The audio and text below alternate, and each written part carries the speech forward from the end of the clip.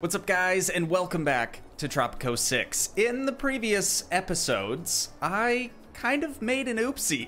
I kind of did a bad thing and uh, and that is let this time right down here, this 11 years and 4 months, letting that run down is not a smart decision. In order to basically pass this level or the mission, if you will, you pretty much have to keep that as full as it can possibly be. So every time that um, Lord Windham would hit us up and give us the option between choosing money or extending that time period, we would take the money. So, long story short, the final objective that we had was to export a certain amount of planks. Unfortunately, we only had a year left to do so, so I might have had to start an entirely new save, but it's not the end of the world, believe me. Now that I kind of have it figured out a little bit more, I definitely think we're going to be able to actually pass this mission finally. So we are now basically in the same position we were previously in episode 2, just on an entirely new save. And I really didn't change a whole lot. The only thing that I changed was like making this road over on this island a lot shorter so we can get more coconuts a lot quicker. I also added the jail or the dungeon to to this random island out here because it literally serves no other purpose. And then out here just looks slightly different as well. But now we can finally continue where we left off. So let's go ahead and uh, and we'll click play here. What we were waiting on is exporting gold nut, and I'm pretty sure we have yes 360. Nope, not that much.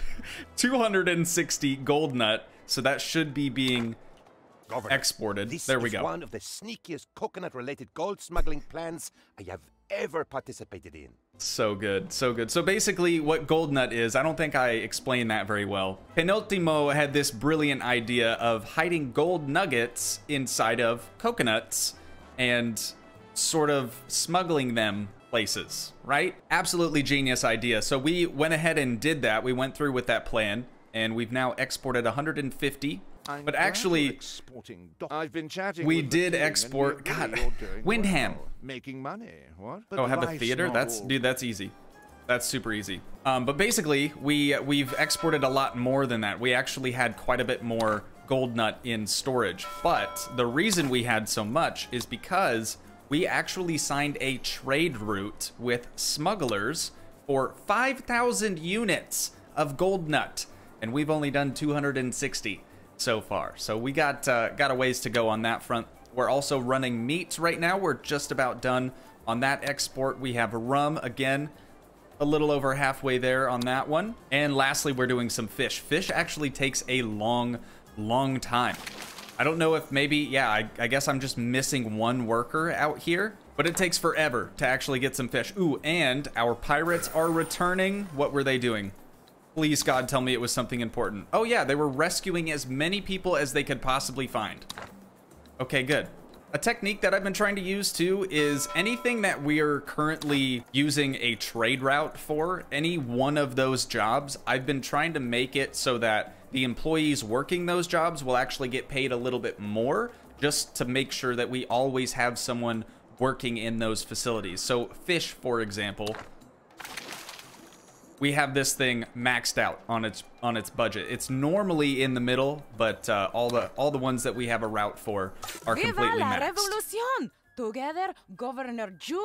We need 10 more immigrants. We need all the people we can get. We have a ton more housing, and I'm actually utilizing these overlays as well. So, like residential occupancy, for example. You can see these are a little bit lighter in color. We have this one over here that's not doing so hot, not doing so good over there. But then we can also look at the workforce occupancy, which will show, you know, how many jobs we actually have filled up in the city or around the islands, I guess I should say. So our next task now, we did complete a rescue. Did it say?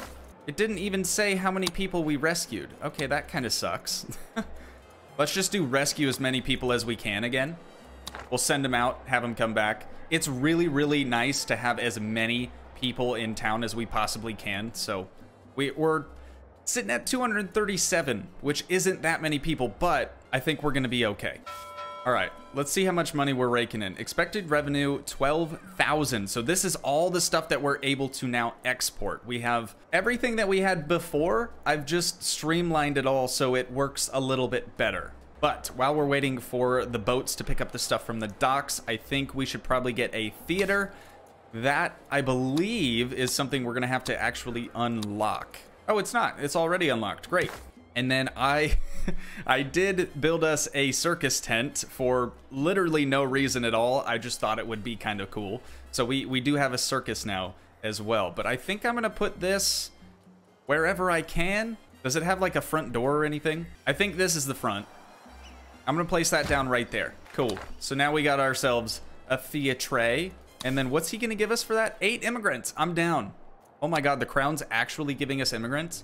Fulfill export trade with the crown, and we can extend the mandate time by 18 months. That's the thing I was talking about earlier. This uh, this little timer down here, we're at 10 years. It was a year, guys. We only had a year left, and there was just no way we were going to be able to uh, extend that time any further. So, doing much, much better now. All right, we just got 12 more inhabitants and 14,000 dollars from this boat right here, picking up our stuff at the docks. Okay, so now that we're getting quite a few more people, I think if I remember correctly, I have these four bunkhouses down here by the docks. Those are all set up so that you don't have to be considered wealthy to live in those, whereas this whole residential area in here, you do have to at least be, I want to say it's wealthy. No, wealth required is poor on those. But the ones at the docks, wealth required is broke. Um, I don't believe anyone pays for housing. No, all of these people pay for housing up here. But down here, this is totally free. We're basically just giving them a place to live so they don't put those crappy little shacks everywhere. Being me. But for independence, Complete the loot raid? Done. Done. Open What raid screen. Oh, nice. Eight immigrants. Thank you we so much. now attend the theater. It is possible that this is not a trap. It is also possible that I will one day be king of the world. Oh, have El Presidente visit the theater. Okay. So, select El Presidente. He's currently at the sugar plantation. We're going to move him over to the theater. Onwards to destiny. And then let's hire a foreign worker to uh, to first work at this theater. That'll probably be a good idea. Okay. And then loot. Complete the loot raid. Open raid screen, loot. Oh, just any loot? Really? Any loot. What do we want though? We don't really need a whole lot of anything. Coal, I guess, would be nice. Coffee, we have corn, we have sugar. The problem is we have all of this stuff. We don't have bananas, I suppose. Let's just do the banana one, right? let's just let's just do that. Oh no, let's do all of them. Oh, we can queue up all of them. Yeah, okay. Awesome. Okay, so that's all set up. Dude, also the background music is just Chef's Kiss, just so good. So good. And from what I understand, it should be royalty free. If I get copyright flagged for this video, I'm going to be so pissed. I'm going to be so pissed because it clearly says in the settings play stream safe music, meaning royalty free or copyright free music. So we should be good. I hope. I guess we'll find out, won't we? All right, are we gonna be able to see? Look at that, dude. Twelve thousand, like clockwork. Seriously, like clockwork. Every single boat that comes into the dock, we're getting twelve, sometimes even more, thousand dollars. And then what contracts are we running? We still have fish. We still have rum. We're still working on gold nut. That's gonna be there for a long time. Unfortunately, it's gonna take a while.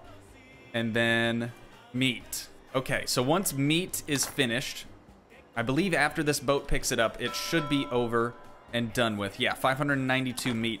Because right now we have it set so that whatever we're producing that can be consumed, or whatever we have a trade route for that can be consumed, we have it so local consumption is actually turned off. So after this boat leaves the docks, we'll be able to turn this back on for both buildings. That way everyone in town can can have some meat again. We have a new trade route available. Tobacco's the only thing, and unfortunately, glad to be we don't really have anywhere. Okay, I'm just gonna extend this. Shut up, Windham. We don't really have any good spot to grow tobacco at the moment. If we if we did, I think if I remember right, it was up here, which is just a little bit too far away for my liking at the moment. We can worry about that a little while later. We have pirates trying to attack the lumber mill. Stupid. Dumb, actually. Idiotic, in fact. We haven't had any issues with the pirates. They have not been an issue at all. Dang, dude, I really wish that we could do another export. We have a new offer in eight months. So we'll just have to wait it out with these three. All right, the loot should be about done as well. That's weird. Have El Presidente visit the theater. I tried that already, and he didn't seem to want anything to do with it. Governor, I am Oh, there we go. Oh, alas, por penultimo. Wait, As I reached for the peanuts, something went bang, then bang again.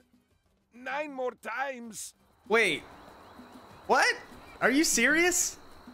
But Penultimo's like our like our home our home dog. He's our home girl. Praise the staging. Wake from your slumber somewhat irritated or help Penultimo. I'm gonna help him. What's praise the staging? I don't know what that means. Penultimo is a national hero. We respect those who get shot for the cause. Some of us hope to get shot ourselves one day. Dude, what? Have three guard towers. Okay, we've We already done that. Oh, Boom, Governor, done. Dude, we're flying through so this. Pretty today. Okay, oh, have sorry, I have been bleeding a little since I was shot, and my head Penultimo. very light. I feel like that was I feel like that was staged.